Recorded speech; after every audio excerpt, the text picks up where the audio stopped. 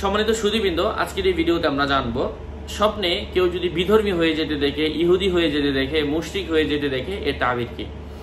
আলোচনা বুঝতে সাথেই থাকবেন, আমাদের এই ছোট্ট ইউটিউব চ্যানেলটি সাবস্ক্রাইব করতে ভুলবেন না। সম্মানিত সুদীবৃন্দ, যদি কোনো ব্যক্তি স্বপ্নে দেখে যে তাকে ইহুদি ডাকা হচ্ছে মানে আপনাকে ইহুদি ডাকা হচ্ছে, আমাকে ইহুদি ডাকা হচ্ছে, আমি যদি এই স্বপ্ন দেখি, তাহলে এটা কখনো কখনো কোনো বিতর্কিত কাজের মধ্যে জড়িত হওয়ার আলামত।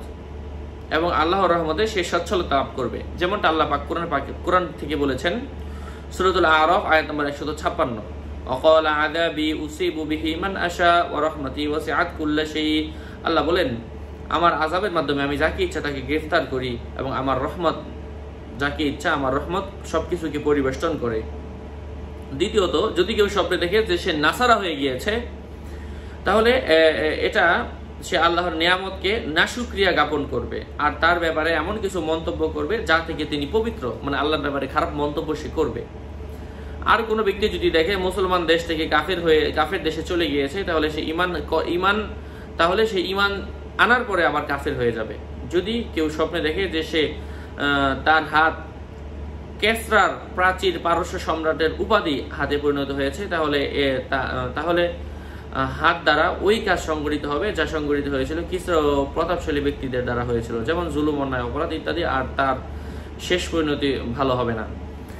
কোনো ব্যক্তি স্বপ্নে দেখে যে তার হাত পূর্বের হাতে ন্যায় হয়ে গেছে, তাহলে এর তাবির হলো আল্লাহর দিকে ফিরে যাবে, অর্থাৎ তার চরিত্রের মধ্যে উন্নতি আসবে। যে ব্যক্তি স্বপ্নে শত্রুকে দেখবে, তার ইসলামের শত্রু হয়ে যাবে, তার কাজই মুসলমান ও তাদের নেতাদের দুর্যোগ হিসাবে আসবে। উপরে উল্লেখিত কয়েকটা স্বপ্নের ব্যাখ্যা স্থায়ী ওসুল বা রীতি। কেননা যা কোনো ব্যক্তি স্বপ্নে তার শত্রুকে খারাপ অবস্থা দেখে, তাহলে সেটা তার খারাপ অবস্থা বোঝাবে। আর যদি সে স্বপ্ন দেখে যে কোনো অত্যাচারীর মতো হয়ে গেছে, তাহলে ক্ষমতাবান হবে।